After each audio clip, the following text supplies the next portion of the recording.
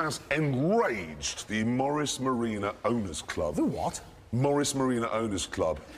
Ever heard of an organisation you want to be a member of less than that?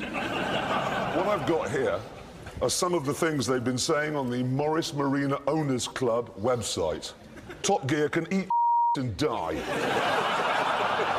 Strong. Clarkson and his cronies should be hung, drawn, and quartered, or is that too good for them? Should be two T double O, just small. Point. this just goes on and on. I, this is one of my favourites. I will send the BBC an email, and I don't care if they don't read it. Well, they did. Well, you They have. really are very, very angry, aren't they? Can I just say, we, joking aside, we don't like to upset any member of our audience, no matter how mad they might be. Okay?